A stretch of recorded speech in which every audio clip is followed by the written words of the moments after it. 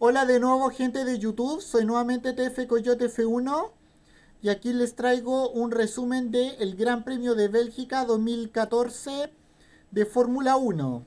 Bueno, como ustedes sabrán, el último fin de semana se disputó el Gran Premio de Bélgica y se disputó en el circuito, en el legendario circuito de Spa-Francorchamps, que es un circuito muy famoso por varios accidentes, duelos y debuts de la en la Fórmula 1 y como ustedes sabrán eh, el ganador ha sido el ganador de este gran premio ha sido el australiano de Red Bull Daniel Ricciardo que hizo un trabajo impecable en este en este pasado Gran Premio. Segundo, arremató el líder del campeonato mundial,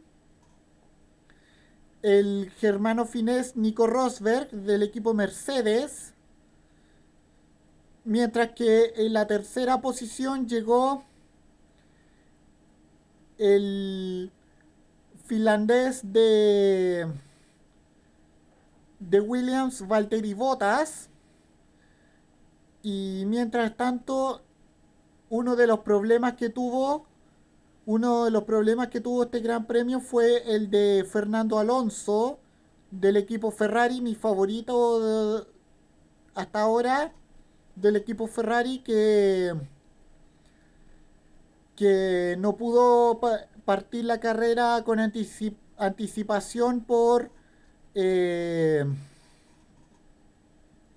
por problemas en la batería y fue penalizado con 5 segundos por, por aquella maniobra en la largada.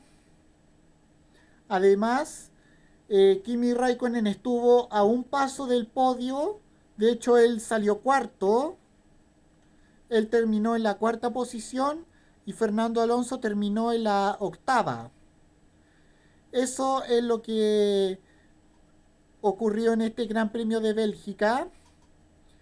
Y bueno, además en dos semanas más es el Gran Premio de Italia en Monza, la cual es la carrera local del equipo Ferrari. Y bueno, eso es lo que más sé de este Gran Premio de Bélgica. No tengo nada más que decir. Soy TF Coyote F1. Nos vemos. Que estén todos bien. Cambio fuera. Chao.